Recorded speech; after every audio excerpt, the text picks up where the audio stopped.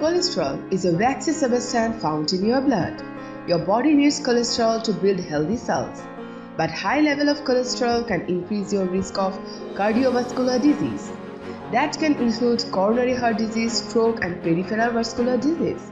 High cholesterol has also been linked to diabetes and high blood pressure. Now let's see the top 5 diseases linked to high cholesterol.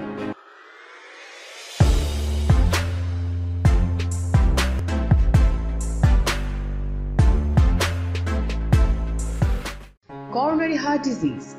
The main risk of high cholesterol is coronary heart disease. Coronary heart disease CHD normally happens when cholesterol accumulates on the artery walls creating plaques. The artery is narrow reducing blood flow to the heart.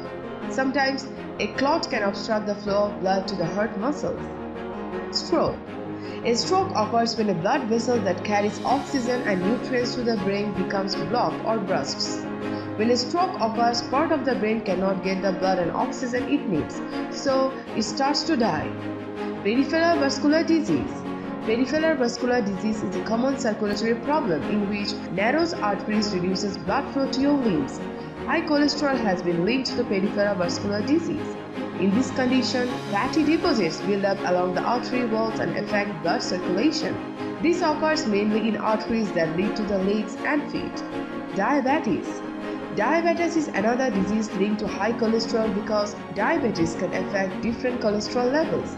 Even if blood sugar control is good, people with diabetes tend to have increased triglycerides, decreased high density lipoprotein HDL, and sometimes increased low density lipoprotein LDL, high blood pressure, High blood pressure, also called hypertension, and high cholesterol also are linked. It is a common condition in which the long-term force of blood against your artery walls is highly enough that it may eventually cause health problems, such as heart disease. Thanks for watching the video. Please like and share the video.